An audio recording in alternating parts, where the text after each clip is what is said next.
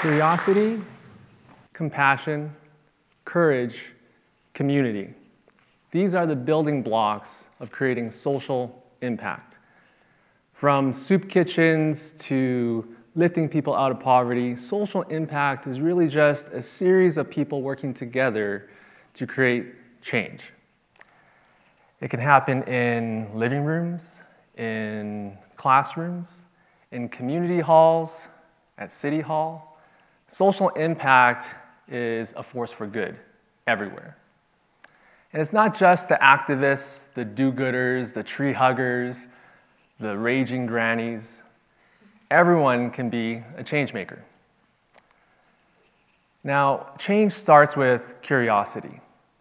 And you have to be curious about who you are, where you come from, and how the experiences in your life shape the way you see the world.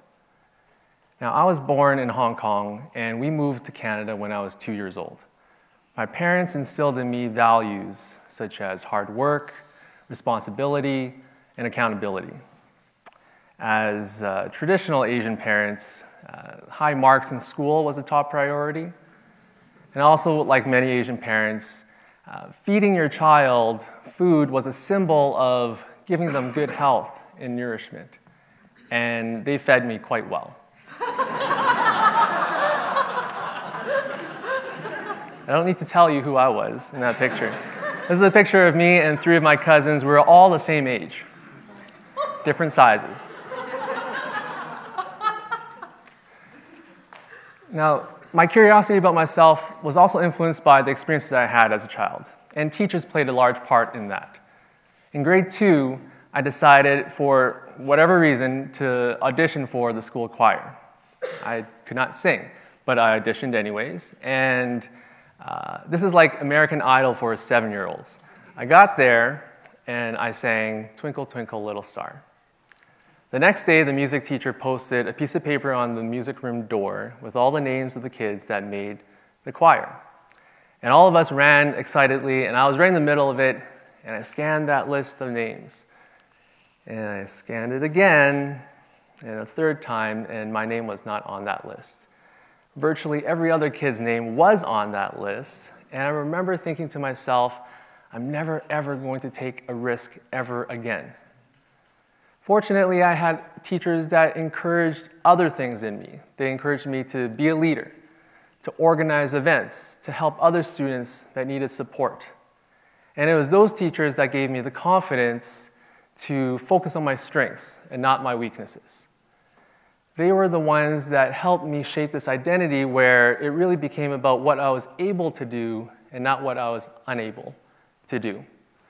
And I think it really takes uh, your identity to form to a point where you know yourself and then you can focus on helping other people. So it was into high school and university where I really started to explore and understand compassion. Through volunteering, I was interested and curious about other people and how I could help. Now, caring and compassion are part of human nature, but I think it also needs some nurturing. Uh, recently, uh, I have a three year old son, Gavin, and he was goofing around at the top of this staircase that led to our basement, and there are about 20 stairs. You can ex- anticipate what's going to happen in this story. He fell down the stairs and my six year old daughter, Maddie, was eating dinner at the dinner table, completely apathetic to her brother's pain. Uh, my wife and I ran down and tended to him, and thankfully he was okay. So then we turned our attention to our daughter. And my wife took this as an opportunity to have a, a, a teaching moment. And after the lesson on empathy, Maddie uh, wrote a letter to Gavin. It's one of those times as a parent that you're quite proud of what transpires.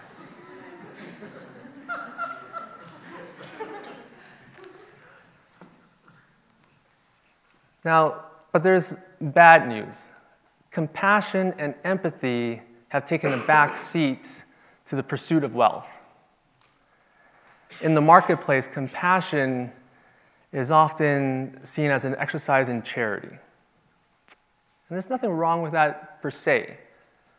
But when you equate giving back, often, more often than not, that becomes an afterthought.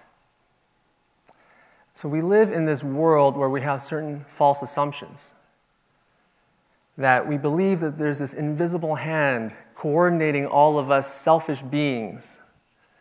And the philosopher Adam Smith, who wrote Wealth of Nations, well, he also wrote another book called Theory of Moral Sentiments. And in that book, he describes human behavior quite differently than this invisible hand concept. He describes us deriving our happiness when we see others being happy. Yet we still live in this economic model that casts humanity as primarily selfish, where compassion and empathy are relegated as an afterthought. This needs to change. There are studies that show empathy does exist, that you can generate empathy between two people and you can generate empathy between perfect strangers as well. Studies have shown that women are more empathic than men, that testosterone is correlated to higher levels of competitive behavior and lower levels of collaboration. So it's not surprising that we have walked down this path where we see environmental destruction and increasing inequalities in society. Now, the solution in my view, is actually quite simple. It's not about let's go colonize Mars or wait for a major technical or technological breakthrough. We just have to look within and look deep into our history. For example, indigenous culture believes that all humans are connected to a common system, are connected to Mother Earth. Compassion is a core value of humanity, but we just need to express it. And when it gets challenged, when opposing or misaligned forces challenge us, well, that's when we need courage. I went to University of Alberta, and uh, I had some amazing professors when, when I was there. But I also had some professors that didn't believe that social impact and business necessarily related to each other. And this became increasingly uncomfortable for me because that conflicted with my personal values. And so this doesn't really make sense in retrospect, but I decided to take more school, to stay in school, and I uh, committed to doing a PhD. My intention was to uh, explore that space of integrating sustainability concepts in our business teaching. Uh, so I did this PhD, and partway through, I was trying to balance this life of staying involved in the community, but also focusing on academics. So I wasn't the most productive PhD student. So one day, our PhD coordinator calls me into his office. And I remember it so viscerally. It was cold, it was in the winter, it was a blistering wind, snow was flying, it was dark, and it was just me and him, Friday, like 4 o'clock. He sits me down and says, Leo, I think you should quit the program. And it's one of those moments where you feel like every fiber of your body is being tested. How do you respond to this challenge? So I took some time. It was probably just a few seconds, but it felt like minutes. And I responded, I said, uh, no thanks. Very Canadian way of responding. no thanks. Um, you know, I, I am committed to the things that I believe in. And I truly believe that I want to make a difference in this world. I'm going to stay involved in the things that I believe in in the community, but I also want to be able to accomplish some of this through my work in, as an academic, through my teaching and my research. So we kind of agreed to disagree, but he didn't force me out. I luckily survived and I finished my PhD. I mean, the story would be very different if I didn't finish, and it, it would be a really flat story. So thankfully, I finished, and uh, you know, I look back at that time with a lot of uh, pride that I was able to stand up for some of the beliefs that I had. That if I didn't know myself well enough, I don't think I would have had the courage to stand up at that challenge point. Now, he asked me, he told me this during our meeting. He said, serving the community while serving or studying business will not make you successful. And that has stuck with me so much. It's not because my career now is all in spite of the thing that he said, but when certain people say things to you, it drives a certain type of behavior and a certain type of response.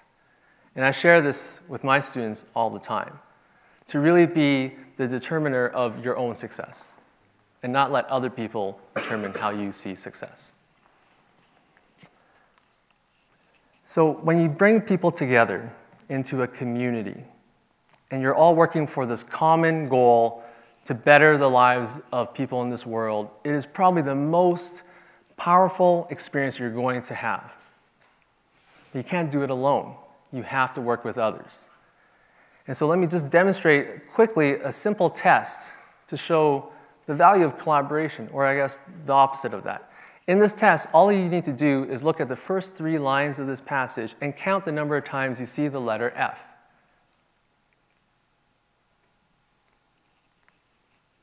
For most people, you'll see more than at least one. How many people here see two F's? How many people see three F's? How many people see four F's? So the majority of people saw three F's. Let me show you where those F's are. Most of you saw this one, most of you saw this one, and then here are the third and the fourth together.